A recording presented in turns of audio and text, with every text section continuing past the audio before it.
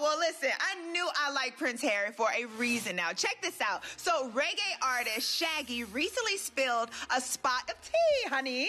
Yes. Okay, so he talked about his meeting with the British royal. When he met Shaggy in 2012 in Jamaica, he made a bigger impression on the singer than his daughter. Shaggy said, my daughter thought he was supposed to be like a prince on a horse, like in her storybook. He turned to me and said, Wow, she's so not impressed.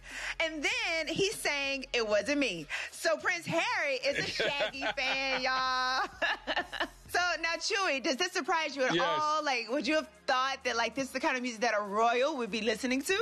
I'm not surprised whatsoever. The song came out 20 years ago. Prince Harry was 16 years old. I was 17. And if you were a teenager around that time, you knew exactly who Shaggy was and you knew all Yep. the words to this song. So I'm not surprised whatsoever because it wasn't me. Yeah. hey, yo, Brat, what would you do if you found out a royal liked your music? Would you go crazy? I would have my people call they people to book my first class ticket to go do a live show and see how much they paying. Hey, I like know that's okay, right. yes. Go get the royal Yes, coins, like okay? that. See what the Okay. royal coins do. Mm-hmm.